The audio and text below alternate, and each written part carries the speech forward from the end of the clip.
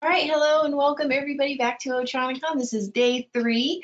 Um, this morning we have a really great um, presentation, but first I want to make sure that you know how to submit any questions, comments, or even um, any chat that you would like. So there should be a question box either to the side or to the top of your screen. If it is not a physical box, it will be a circle with a question mark in it. Go ahead and click on that circle and then there should be a box that appears where you can send in any kind of information you'd like to. If you're having any technical difficulties, also go ahead and send that there. We'll make sure to connect with you and help you get connected. Um, and with that said, I'm going to pass it off to Jeanette. Hi guys, thanks so much for joining us today. Um, I'm Jeanette Johnson, the co-founder and creative director of Wallcrawl, and today, as promised, we'll be speaking about the science behind what universally brings us joy. So first, I just wanted to start off by sharing a little bit more about myself and why I am so passionate about this topic. So my journey really began in 2010. I started a fashion blog, what's now known as a fashion blog, and I did so with the intent of actually wanting to change the landscape of fashion journalism. I wanted it to be more inclusive of sort of realistic fashion and budget friendly fashion. And to my surprise, and I think everyone else's, it completely took off and it became my full-time job very quickly. And i found myself working with companies like macy's and jcpenney and nordstrom regularly. I employed a team. Um, it became a whole animal of its own. And what was interesting about that is i noticed that i actually had some tension in my life about that because i grew up and i was raised that aesthetics decorating ourselves decorating our surroundings are really just not something we spend our time and money on. It was not as important, you know, creativity and kind of lollygagging around is not as important as hard work. And it just was not something that I ever um, felt like I should spend a lot of time on or that was important. And so for me to be finding myself in a career that was pretty much all creative and aesthetics based um, really created a lot of tension in my life. So I actually wound up writing a book about it that was published by Waterfall Press in 2017. And the part of my journey that is most relevant to today's talk, we'll be speaking about it a lot, is wall crawl. So um, my husband and I opened wall crawl in August 2019 in downtown Orlando. And it's really easier to show you wall crawl than to explain it because it's such a visual business, but this is just a snapshot of our um, Instagram. So just a few pictures to look at. And essentially what Wallcrawl is, is a photo studio with a twist. So you can go there with your family just like you would a mall photo studio and get professional photos taken. Um, we also charge by an admission fee, so you can actually go and take your own photos with your phone or your camera. It's a great resource for photographers to take their clients and take photos of them or to complete their own personal projects. We've had some music videos shot there, and it's also a great place to gather. Certainly, um, more so before COVID, we had a lot of events, but still some small gatherings um, here and there. So, why wall crawl, right? So, this talk today about the science behind what brings us joy and also why joy is important um, is really near and dear to my heart because my husband and I we put all of our resources into opening this business. We did it completely alone. We bootstrapped along everything along the way.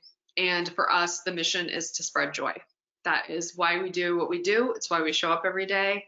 We aim to put smiles on people's faces. And sometimes that can be tough still with my upbringing. I'm still working in an aesthetic based job. And ultimately, I know, and we all know, that our frontline workers, our doctors, and our nurses, are out there saving lives. And what we're doing at Wall Crawl is not saving lives. It's not quite that cool.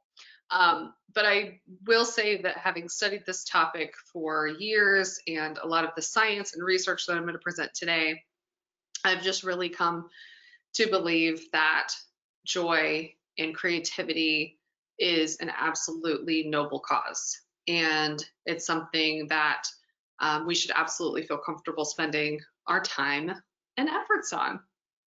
So without further ado, um, we'll get started. And if we're going to be talking about joy, we absolutely have to define joy first. So interestingly, scientists um, will often use the words joy, happiness, positivity. Yes? I'm so sorry. We don't see your screen. Oh, Goodness gracious. Um, how do I? So there we go. Now I'm seeing. It was uh, there. Oh, there. There we go. Thank you so much. I was actually wondering about that. I was like, I wonder if they can see that. Thank you. No problem. So this was the slide before, just real quick, so everyone can see. This was the snapshot of wall crawl. Gives you just a little bit of an idea. So there's 20 different walls that change seasonally.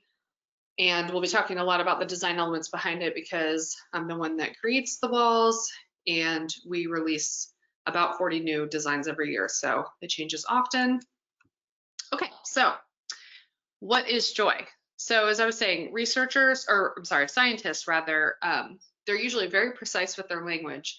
However, they often use the words joy, happiness, and positivity in overlapping or even interchangeably.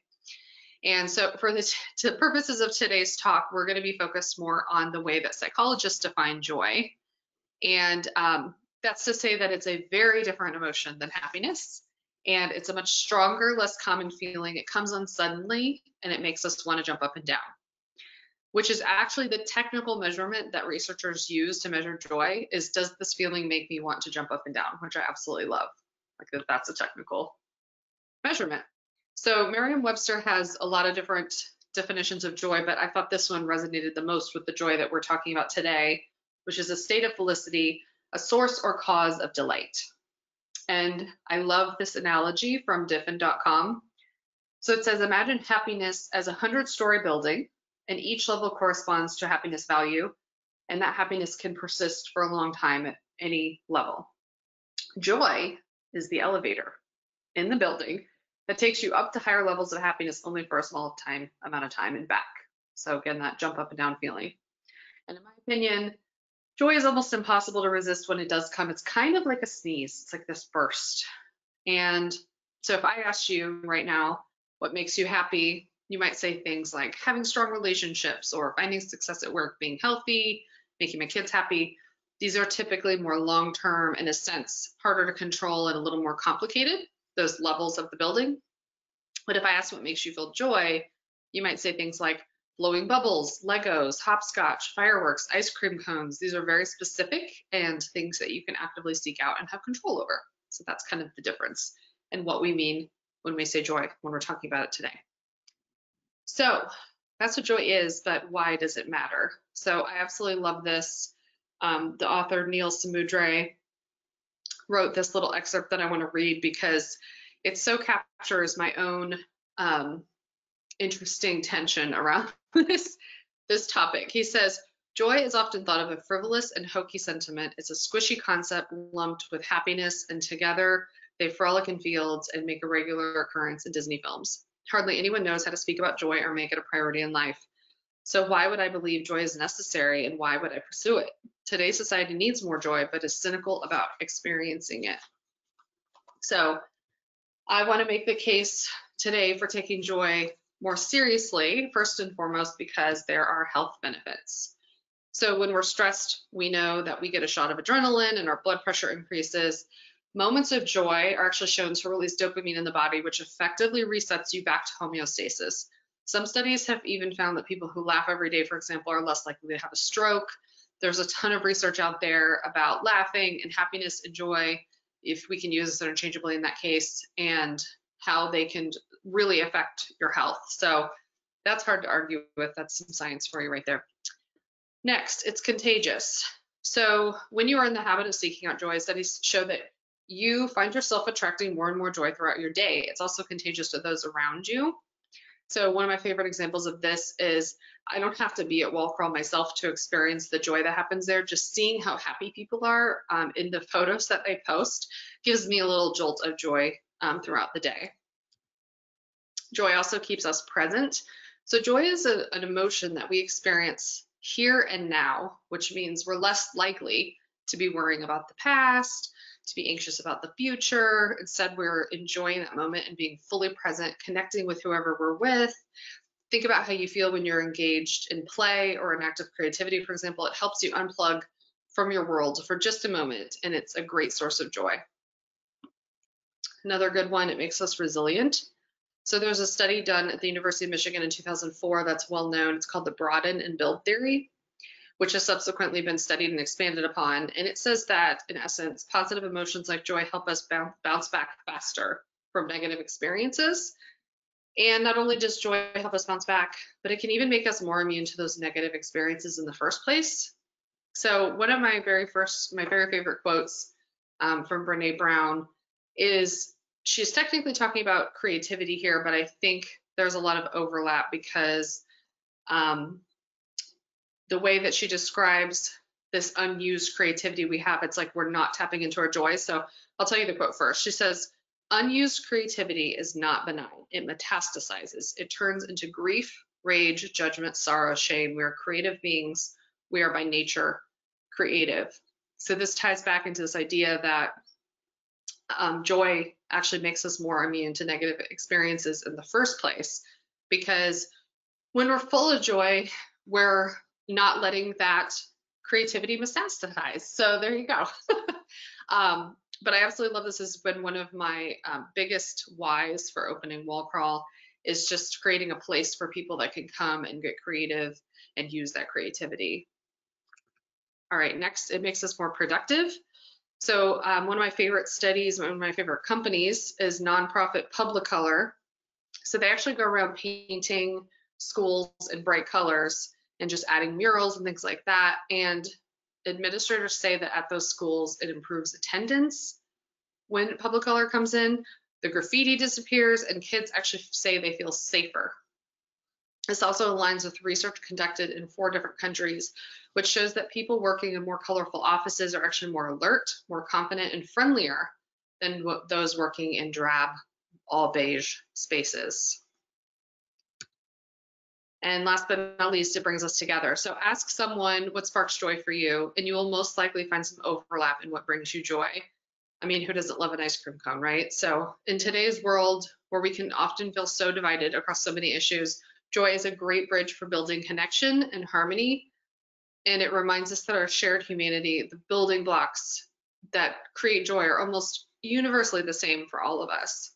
So our opening, our motivation for opening Wall Crawl was to spread joy and um, be a place for creativity based on a lot of this research. We watched the TED Talk by Ingrid Fetell called Where Joy Hides and Where to Find It, and truly um, kept me up at night. I highly recommend it. It's it's I've presented a lot of the research here, and I'm going to be talking about her book, but she showed how beige our world can be and how much you know painting a school for example matters and we felt like we want to do something about this so we did.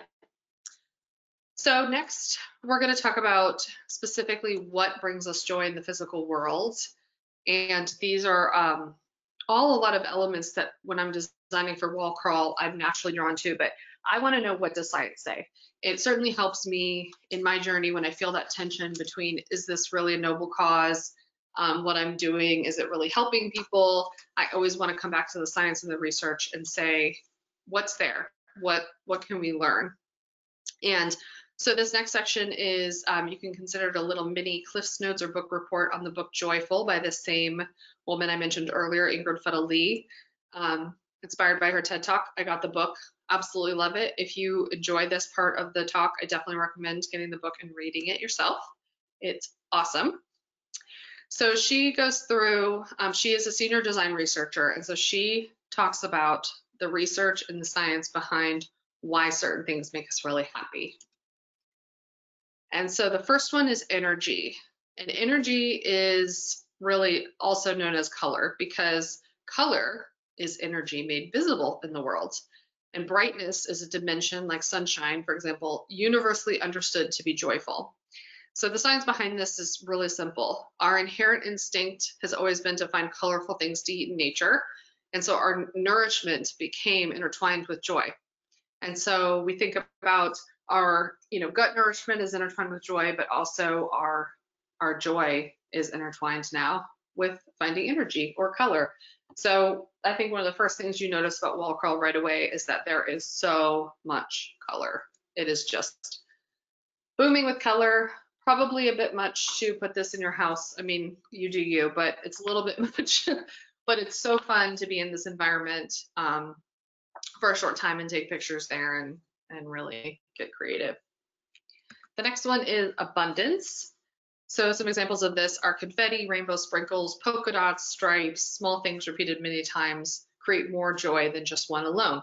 For example, one confetto, which is the singular of confetti, is literally just a round dot. It really does not speak much to you, it does not spark much joy, but a bunch of them together is fabulous. So the science behind this is the legacy of our hunter-gatherer ancestors because our biological nature is designed to help us navigate a scarce and uncertain world. I mean, it's pretty self-explanatory. I feel like we're naturally drawn to abundance because abundance is awesome. We want to have enough food in our lives. We want to have enough resources in our lives. And even if this is not, this could be different things for anyone. It can be that feeling you get when you look at your coin collection because there's a lot of them in sequence together. If you're a chef, it's your spice collection. You have hundreds or thousands of spices.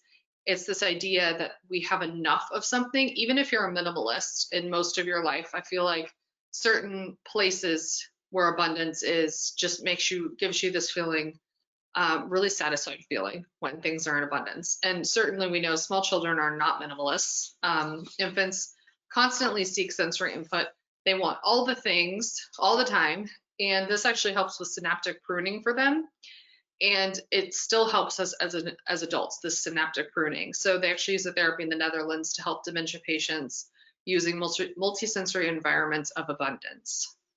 And so some examples of this at Wall Crawl is we have um, all these books, these brightly colored books, right? It would not have the same effect if it were just a couple of books or one book. And on the right, those are thousands of post-its that I hung by hand. And but it gives you this joyful feeling because there's so many of them. It's this feeling of abundance. Um, and I love I love this one especially because it makes so much sense, but I never would have known to call it abundance. I think it's um, so often used in design and we don't even understand why completely, but knowing the science behind it is just really neat. So one of my favorite walls on the left here, we have literally thousands of pieces of candy and it just gives you this feeling of like, yes, like who doesn't want, even if you're not eating all of it, because we don't eat those, but um, it's just so fun to have available to look at, you know, just gives you this happy feeling. And on the right, a wall with like hundreds of hearts. It's the same idea. So we use abundance a lot, really many or most of the um, images from wall crawl can definitely be considered in this category of abundance. All right, next up is play. So Stuart Brown says that play is an instinctive, subcortical, primal force in humans. The need for play does not stop after childhood. So the science behind this, um, one study shows that looking at rounded facial features of babies or cartoon characters stimulates our medial orbitofrontal cortex, which gives us the urge to play. Play is often dismissed as frivolous or unnecessary, but a study in Japan recently showed increase in concentration and conscientiousness after looking at cute babies and animals. And maintaining a childlike perspective helps us keep open to fresh new ideas. So I love this quote also from the book it says disney is valuable because it's one of the few places where adults give themselves permission to play and we second that wholeheartedly and wanted to add wall crawl to the mix as a place where you can certainly play so some examples are um, circles are are again that rounded feature um, gives us the urge to play anything with nostalgia and props you can touch. So we are big on getting you involved in the picture and bringing out it really brings out your playful side. Um, play is obviously more something that you can do in a sense but aesthetically it's about urging you to play. So um, the books that you could play with as these women are on the right being hilarious in my opinion they did a whole series of photos like this together clearly had no fun whatsoever and then phones are also a big prop that we use a lot um, which is so funny because their kids are like what is this um, but it's a lot of fun and it gives you something to play with. So we do things that urge you to touch and play. All right, next is transcendence. This one is so much fun. So we use these phrases in our language all the time, walking on air, be on cloud nine, swept off our feet. Um, transcendence is things like the wonder of flight and beating gravity. So we we tend to love things like Ferris wheels and tree houses and butterflies and clouds and bubbles. Um, I I have a feeling at least one of those things sparks joy for you. Certainly, most of them do for me. And the science behind this is simply that um, research has shown that gaining elevation, even just going up one flight of stairs, helps us focus on the big picture and less on the details. Elevation and a sense of lightness is really a universal metaphor for joy, which is why it's so often found in our language. So at Wall Crawl, again, I found myself just um, so drawn to transcendence without even realizing it. You know, we use these elements so often in amusement parks and places like that without even realizing it. So on the left, we have um, our birthday cake in the sky. So it's got clouds and the air balloons give you the sense of lightness. Um, on the right, we've had a couple different swings at wall crawl and they are always so popular. People love swinging around and just that feeling of lightness and elevation. It can really come through in like a fun photo. There's also things, um, we use a lot of inflatables, which are, uh, you know, full of air. Obviously, some of them are even kind of floating off the ground. And on the left, um, we, we posted this bubble picture, which was like a little creative mini project someone wanted to do, and people were coming in to recreate it. It was, it's so fun because that bubble again is just so um, something that brings people joy. And I think it's a great example of transcendence. All right, next up is harmony. So harmony can be found in so many places in our scientific world. It's the symmetry found in galaxies and atoms. It's repetitive beats like heartbeats. It's fractals in nature. And then it's for us objects organized by color, gradient, size, etc. So joy is this pleasurable awe sensation we get when we see related objects as a group because our limbic system actually rewards us with joy for staying alert to making correlations and connections and recognizing patterns. So again, dating back to our ancestors, we were rewarded for noticing, hey, that pattern is a snake, or hey, these things are organized in a very um, organized way, which really helps with me getting dinner made and helps me survive. So just all these ways that our brain literally rewards us when things are put into a, a harmonizing pattern. So we have a lot of this at Wall Crawl too. There's a lot of patterns that we use. Um, and a lot of these are also examples of other things too. So clearly both of these pictures are also abundance and they're also showing color. Um, but the harmony is that all these candies are organized by color into each individual jar. So we don't see all the colors mixed up in different jars, but they're all in their individual places where they should go. And with the flamingos, it's um, organized into a pattern. The stripes are all the same width. Everything's very symmetrical. Even the symmetry of the beach balls themselves, this is very soothing to look at. And then these are two more examples.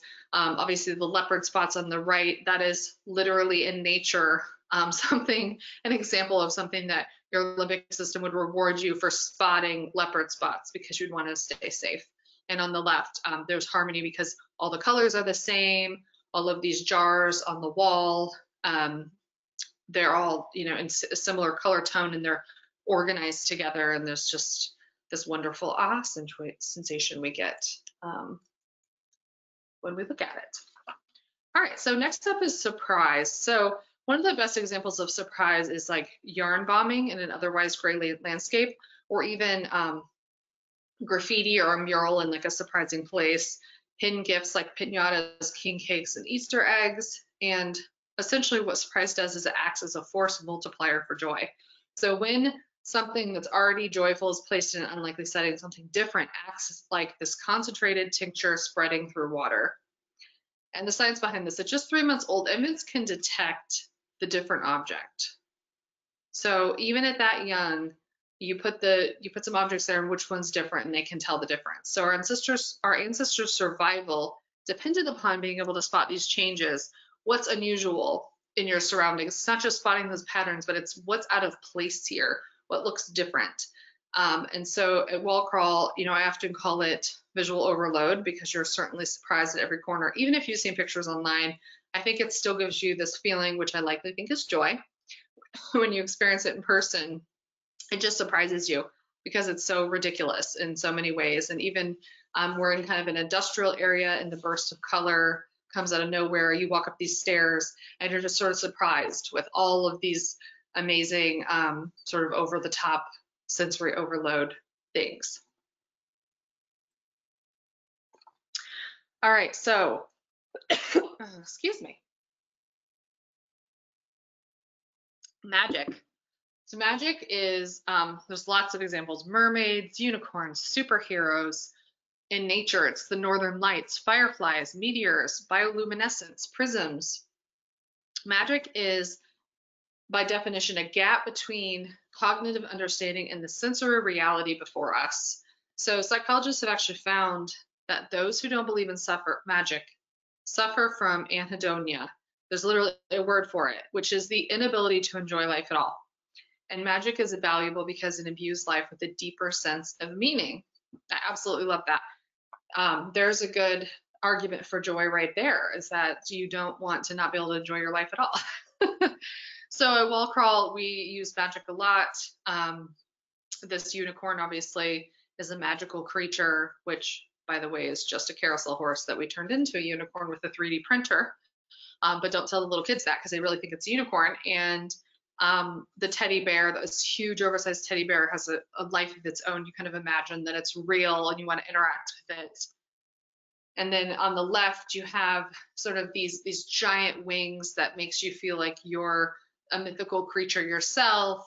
And on the right, our 2D cafe um, is so popular, and I think partly because it makes you look twice and you kind of wonder, is that real? What am I looking at here? I think there's a sense of magic in um, painting a room to look like this, and it, it truly sparks joy when you're there and when you see pictures of it. All right, last but not least, and there are a lot more examples, of course, in the book. The book is very in depth. It's very good. Like I said, I highly recommend it. Um, but is celebration. So celebration is a distinctly social form of joy, and it includes things like music and the power of synchronicity, but also bursts of energy like a champagne cork, glitter, disco balls, fireworks, pom-poms, balloons, and stretch limos.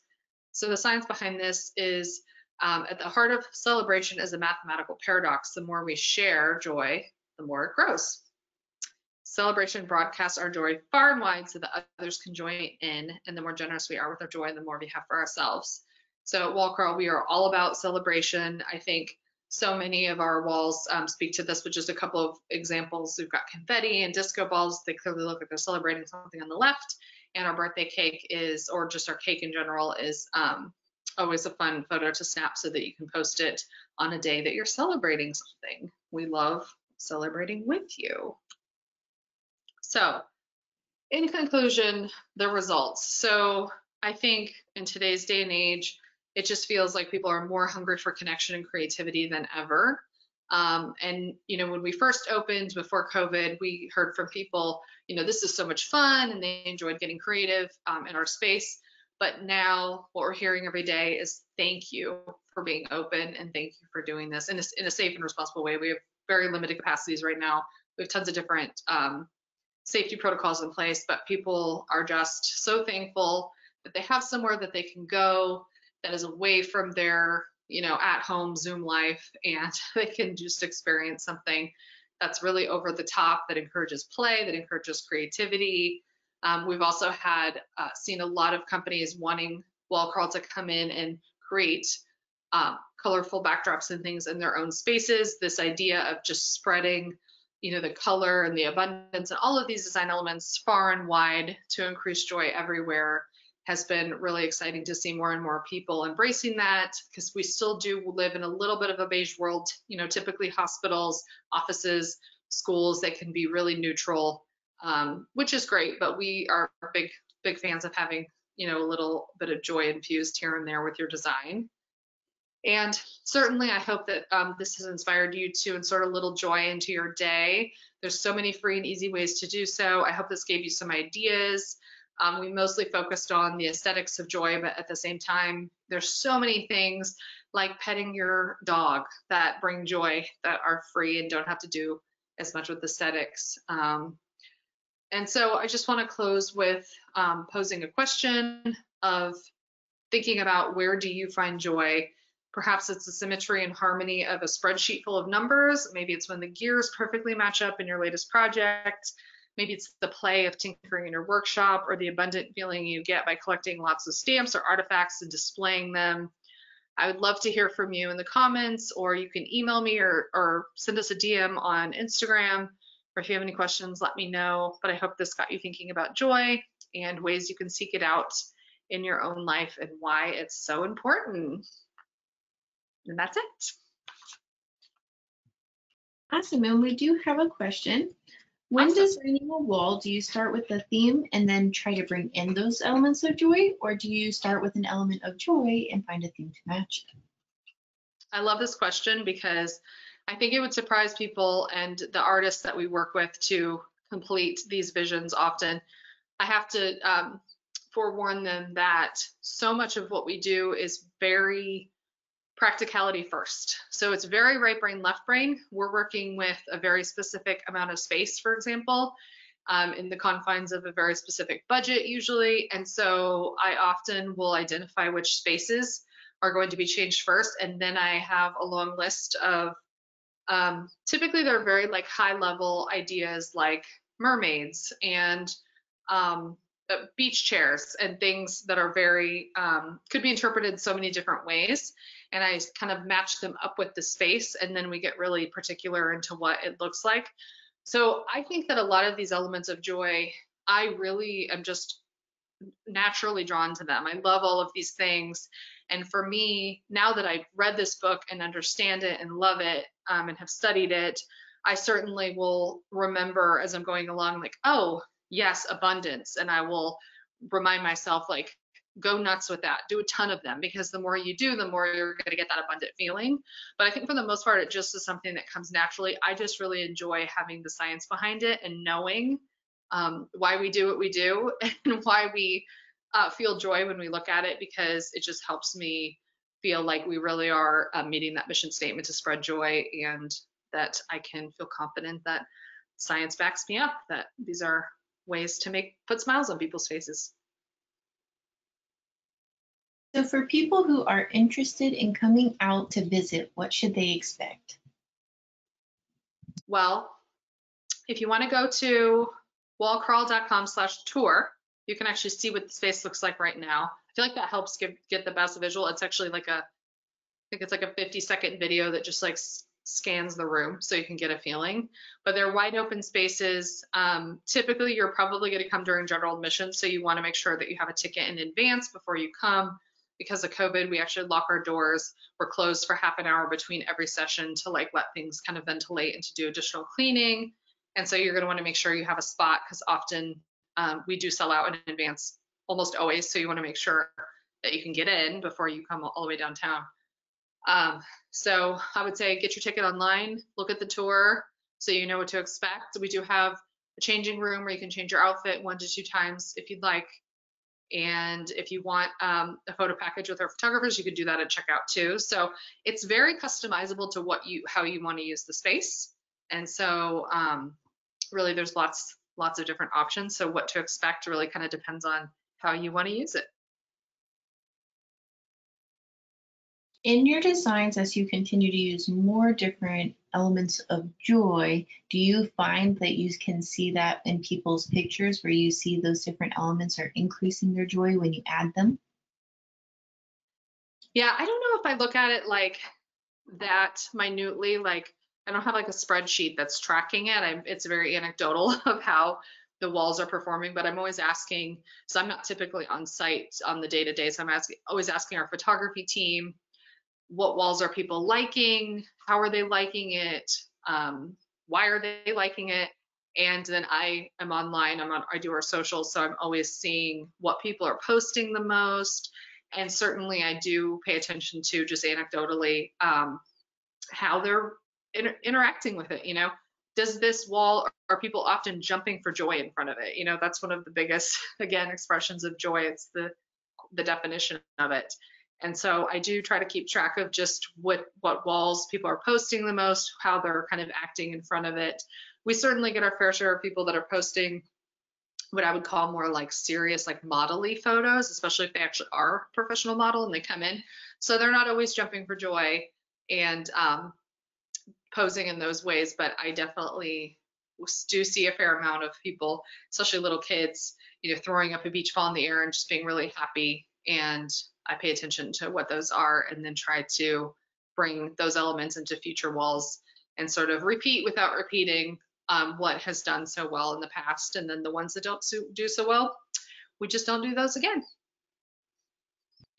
And how often do you get to change or how often do you come up with new ideas? So I pretty much eat, sleep, and dream walls 24 7, 365 days a year. Um, it is my full-time job it, and it does take all year long because we change quarterly, so four times a year. We change about half the space. So we do on average um, 10 walls four times a year, so about 40 new concepts a year. And I actually, um, I'm really big into upcycling. So a lot of the objects are like found objects on Facebook Marketplace and places like that that I actually will give a total makeover and paint. And um, I spend time getting that ready and then we'll hire artists to, to do different elements and they'll be working on those in the months in between our install weeks too. So it is, um, keeps me very busy and there's, we're always looking for new ideas. If you're an artist, please reach out. I would love to connect with you. If you have an idea of a wall that you'd love to see, please let me know. So we're always, always, always thinking ahead. I'm almost thinking to Christmas already for this year. That's how far in advance we work. Is there a theme that has been your favorite or stood out to you the most? Oh, it's funny. I always go to the flamingo wall, but it's because it is the wall that started the entire idea of wall crawl. Um, my husband, we were so we were thinking about what we wanted to do next with our lives. Um, I was kind of wanting to move on from blogging, and he was working with me on the blog full time at the time and he wanted to open a photo studio. And so I was like, great, that sounds great. And we were looking at these, he was gonna, it was gonna be a blank space for professionals only to like bring their clients. And I went with him to look at a space and I said, I want to create this flamingo wall. I want to put a bunch of lawn flamingos on the wall. I don't even know where this idea came from. So I had never done anything like that. I'd never even painted a wall in my life. And it just kept me up at night and I kept thinking about it and I thought, well, if I do this wall, why don't we let other people use it? And then it just really got completely out of control where we thought, okay, let's just make a bunch of walls and that will be the business and the people can come in and use them. So it was the one, it was like sort of the first um, strike of the match. So I always think of that one and it was really popular. We had it for, I think our whole entire first year. Um, people absolutely loved it. And I, you want to talk about a wall that brought a lot of joy. I think people enjoyed having beach balls to throw up in the air. So there were a lot of boomerangs that people would do with that wall. And there's just a lot of really fun photos that came out of it. So I have another couple other walls coming up for summer that have beach balls. And it's because of that um, wall for sure and how much fun it was. That's awesome. So um, your wall crawl space is obviously very innovative. It's very different in the fact that, like you said, it's not like a photo space. What was it like, kind of, um, you know, entering a new frontier and being an innovative business as you're opening up? Yeah, so talk about um, how different my husband and I are. We're very similar in some ways, but I'm over here like, I'm dreaming backdrops. I just need you to get me a building so I can start painting because I it was like I couldn't sleep at night. Like I just wanted to start painting and I kind of struggled to even care about the business side. I just wanted to get it done. it was like this project inside me that was like dying to come out. And my husband, who um, got his MBA from UCF and actually taught there in the business school for a while, he was downtown interviewing people on the street saying, My wife and I are thinking about opening a business and it's going to be X, Y, and Z. Would you be interested in coming? How much would you pay for a ticket? I mean, he had a spreadsheet going um, he was talking to different photographers. What would you need for your clients? What would the price point need to be? Bless his heart. Like this is how different we are, but it's it's so wonderful because he can do all of the amazing things that I my brain does not work that way. I'm just like ah walls. When can I when can I create them? and he um, did a ton of research, looked up you know everything about what are uh, traditional photo studios like in the mall charging um, what do other entertainments and pop-ups charge and what are they doing differently he interviewed people that had been to like instagram pop-ups and got all of their customer service complaints and was like we're going to do things completely differently um, if you're familiar with the pop-up model the diff- the main difference, I love this um, metaphor, is that pop-ups are similar to like a carnival or a county fair. You know, they're in town for a little while. They're sort of transient, and Wall Crawl is the first ever amusement park for photos. We stay in one place. We're committed to customer service. It's a place that we want you to come back every single year for your birthday or as your family grows. We're already seeing that with our customers who come back again and again. And it's just a completely different way of treating photos that sort of combines a lot of different business models. So he did his due diligence and you put his MBA to work in creating an amazing business plan and um, spreadsheet is really fascinating actually to watch him work through all those problems. So is there anything next for Wall Crawl that we should suspect? Oh, there's so many things next for Wall Crawl. Uh, we actually have had well over 100 requests for uh, opening franchises across the country. They started pouring in like the week we opened.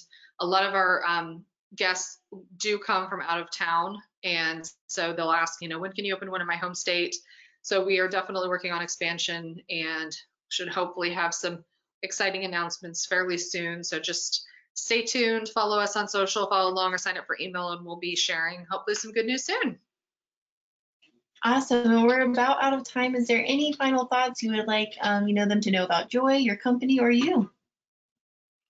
I think I just talked their ear off for however long that was, so I'm sure.